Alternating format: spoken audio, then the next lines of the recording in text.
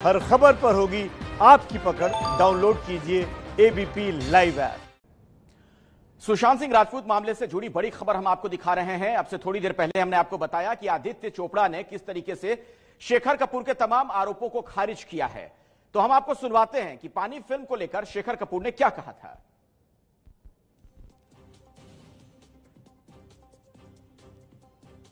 सुशांत ने पानी फ़िल्म के लिए तारीखें भी तय कर ली थीं। फ़िल्म में सुशांत गोरा किरदार निभाने वाले थे। वर्कशॉप के दौरान दिखाई देता था सुशांत का जुनून। हम धीरे धीरे दोस्त बन गए थे। तो ये देखिए शेखर कपूर ने जो बातें पहले कही थी, उसका मजमून हम आपको बता रहे हैं। हम आपस में निजी ज़िंदगी की बातें भी किया करते थे। ये सुशांत सिंह राजपूत के बारे में शेखर कपूर ने कही है ये तमाम बातें। इस फ़िल्म के चक्कर में सुशांत ने कई फ़िल्में छोड़ दी थीं।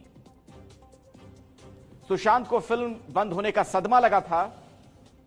यह बात भी कही शेखर कपूर ने। सुशांत डिप्रेशन में जाने लगे थे। और आगे शेखर कपूर ने कहा कि फ़िल्म को लेकर दूसरे निर्माताओं से भी बात की गई। तो ये तमाम बातें हैं। बड़ा बजट होने से कोई सुशांत पर दाव नहीं लगाना चाहता।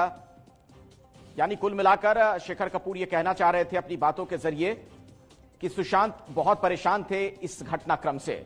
लेकिन आदित्य चोपड़ा ने उन तमाम आरोपों को अब खारिज कर दिया है।